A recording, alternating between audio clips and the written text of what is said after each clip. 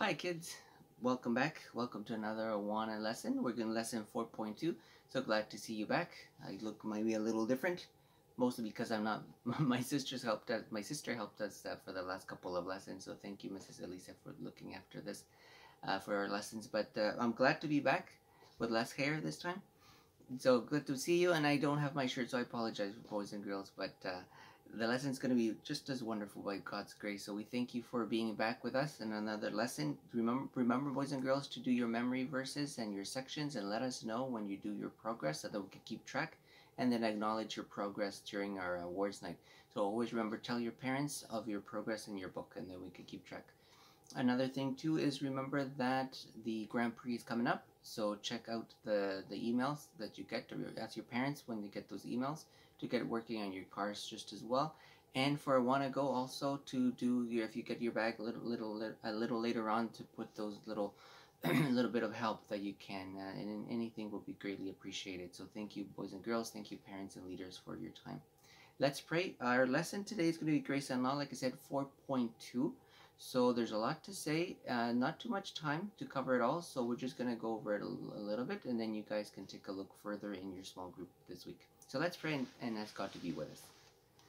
Dear Heavenly Father, I thank you so much, Lord, that you are with us tonight to open up your word, the, the Holy Bible, so we can learn it, we can study it.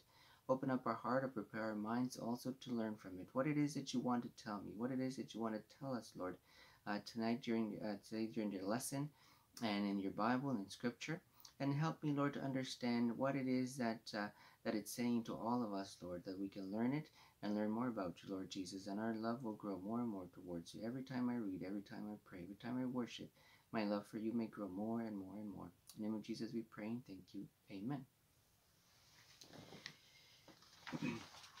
now, boys and girls, you've probably heard, let's start with the laws. It's grace and law. So let's start a little bit with the law. You probably heard of the Ten Commandments, right? So obviously there's 10 that were given to Moses a long time ago. God wrote them with his own hand in the tablets, so like in the, in the stone. But because of what Moses saw when he was coming down from the mountain, and he was very upset with the people, very angry, he reacted, and what in his reaction, his anger, he broke those uh, those tablets, and so he had to write them. But they were still there, so there was ten, ten commandments, and we know them. You'll find them in Exodus chapter 20, so they're they're there. We can read them. But did you know, boys and girls, that there were just not there weren't just those ten commandments. There were more. So we know that there are over 600 of them. So the 10 are the most famous ones, and then we have all the others, which hundreds of them, so over 600 of them. So you can almost imagine, you can imagine how difficult it must be for a person to do over 600 things right and not make a mistake. So, because that's what keeping the law meant. It's doing all those 600 points perfectly, all the time, every day, for the rest of your life without breaking any of them. So you couldn't do like 599 or whatever number was, right? You have to do all of them. So that's pretty much impossible to do all of them. And because God knows that that's exactly what happens, is that we're not able to be, let's put it this way, we're not able to get to heaven by keeping all those laws. If we had to keep them all, then no one would be able to succeed because we weren't be able to do them, right? But what happened was there was one person who was able to do that. Not no one before him and no one after him. He was able to keep them all all the time from a very young age to the to the time where God picked them up when he passed away, right? And this is Jesus. And we know he passed away, he gave his life for us, but then he resurrected on the third day. So all those things that he had to keep, all the law, he was perfect. He kept them perfectly. Now, the reason why he had to keep them perfectly was because if he didn't, he wouldn't he wouldn't have been able to give his life for us. And he did. He gave his life for us so that we would now be able to get to heaven without having the need to keep all those laws. So the laws, the law didn't open up our door to heaven. Let's put it that way. So keeping of the law didn't open or close the door to heaven. We were now given the opportunity by God's grace and love, like we saw last week, to be able to get to heaven by trusting Jesus as the Lord and Savior. And we are converted and we start a new life and trusting the Lord. And by reading the Bible, we are that's the way that we are able to learn about the law. We're able to learn about what it said in the in the beginning. So that's not wrong. We can learn about the law. We can read the laws. It's wonderful. But then we know that we live by grace. So if you have your Bible with you, I have my Bible right here. Actually, yeah. if you can turn to the book of Romans, let's go to the book of Romans. Again, you can pause the video at any time. Let's go to the book of Romans, and we learn in Romans 3, or chapter 3, verse 10, that no one, like we said, was able, has been able to keep all of the laws perfectly. No one was able to. Maybe keep a few of them, a couple of, you know, maybe there's years where some of them are easier, some of them are more difficult, but to keep them all, it's it's impossible. So Romans chapter 3 verse 10 says, if you follow along, it says, as it is written, no one is righteous, no, not one. So no one is righteous. And no one has ever kept everything perfectly, not not one single person. Because it's almost like, think of it as a chain. So if you have a chain with you, uh, if you've seen a chain, there's the links on a chain. So if you were to pull one, all the other ones come along with it, right? So it's almost like they're all together. So by breaking one law, all of them collapse. Or if you played, maybe if you made a tower with blocks, if you take one, if we're focusing on the bottom one, if you take one, it all collapses, right? It's all part of one. It all makes one thing.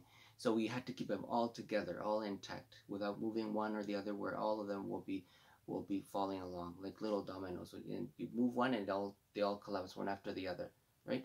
So then we have to make sure that all were perfectly still, and nobody was able to do that except Jesus. So Jesus was perfect. The Lord Jesus was perfect. So when he was here on earth, he kept all the law perfectly. And he was the only one who could do that. So that he would be able to take on the punishment for sin. So that we wouldn't have to take on that punishment. As the Bible says, while we were yet sinners, Christ died for us. And he gave his life for us so that we wouldn't have to be away from the Lord, so that we wouldn't fall short of the glory of God, which we did and the punishment for sin is death. But the gift of God is eternal life through Jesus Christ our Lord. He was the one who took all of that and on his shoulders, on in his life, and he died on the cross for us so that we wouldn't have to follow those things, so that we now live by grace. Now, does that not that doesn't mean that now we can do whatever we want because we now live by grace and not the law. So that means it doesn't mean that we live without any rules. It, they're necessary, and God tells us in the Bible, we read our Bible, and then the more that we read our Bible, the more that we learn about God, the more we learn about ourselves, and then we learn about how God wants us to live, right?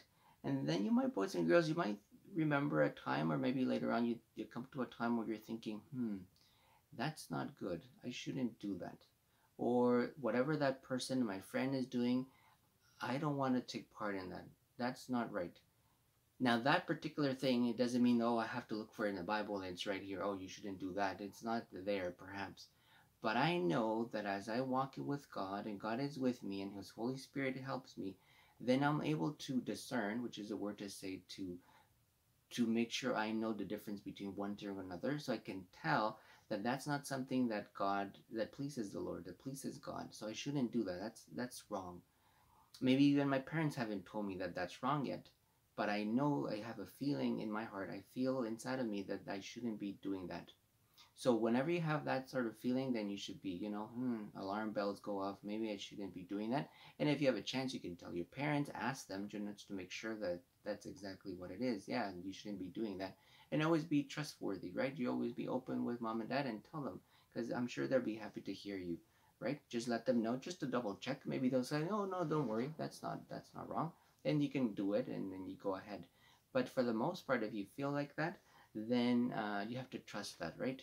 That the Holy Spirit is telling us and is teaching us. And as we walk with God, going to church and reading our Bible and praying and having that communication and that relationship with God, then those things will be able to keep us from sin, right?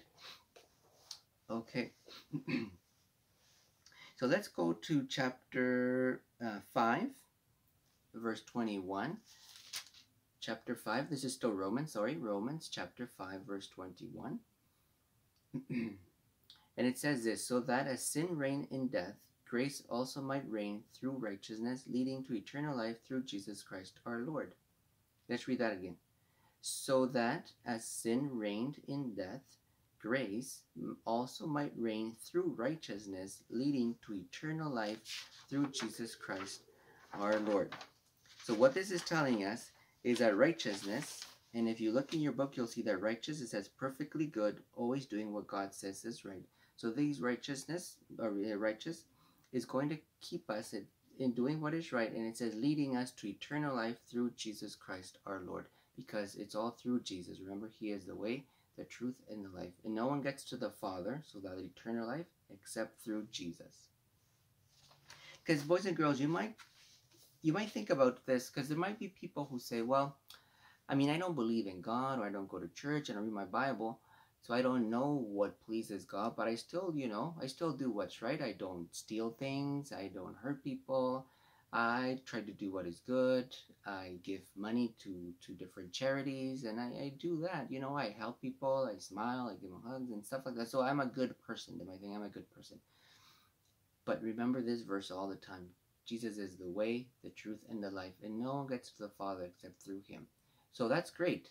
It's wonderful that people are very generous, that people are doing what they think is good and correct. Okay, so that's wonderful. But that that doesn't get us to heaven. It's through Lord through our Lord Jesus Christ for what He did for us. So we get to a point in our lives that we were able to pray and give our life to the Lord and take and have Him be our leader, have Him be our guide, and have Him give our all to Him, so that we know we can trust in God and through the Holy Spirit that they're going to lead us into righteousness and into heaven, right? So we know that for a fact because that's what Jesus came to do. So we don't have to be away from Him anymore.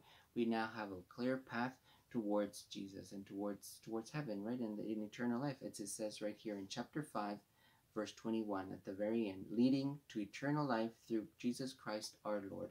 So we have that goal, and the way to it is leading through Jesus Christ our Lord. So if you know somebody who uh, who says that, you can pray for them. You can pray for them. You know, if they already have a you know a kind heart, they're kind, they're gentle people, they they do what is right but they still don't know God and they still don't have Lord the Lord Jesus as their Savior, then let's pray for them.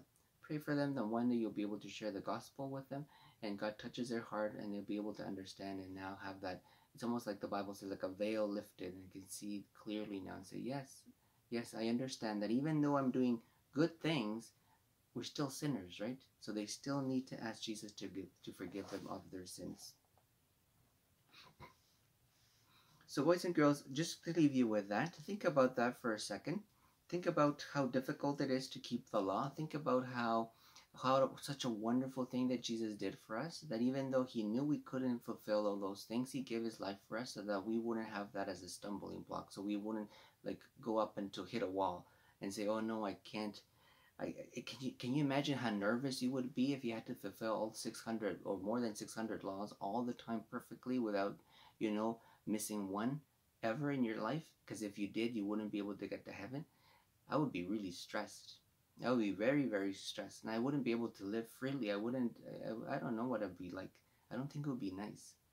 But see, but now I know Lord Jesus paid the price for my sins. He is the right hand of God, and whenever I do happen to stumble and sin, I know I can trust my Lord Jesus, and I come to Him in my knees and I ask Him to forgive me, to lead me in the way of righteousness and good, and then then he I know as the Father, and then I'll I'll just wait on His mercy, and I know I'll have forgiveness in our Lord Jesus.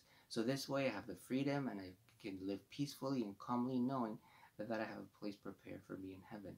So that makes it for a much much better way, right? That I know the Lord Jesus is there with me. I'm on His side, and He's on my side. Let's pray and ask God uh, to to sink that in for us. Dear Heavenly Father, come together tonight in the name of Jesus, today in the name of Jesus Christ, to thank you, Lord, so much for another wonderful day. We thank you, Lord Jesus, that you knew or you know your creation, you know our hearts, you know our life. You know that it would be pretty much, it is impossible to keep them all, but you did it, Lord Jesus. One for all, Lord Jesus. You did it all for all of us, Lord. You did everything for us. You gave everything for us. You gave your place up in heaven for a little bit to be down here with us, to take the, the punishment for our sins. And now we know you're back in heaven at the right hand of God, your Father, our Father. So we thank you for these wonderful promises of eternal life and to be with you forever and ever.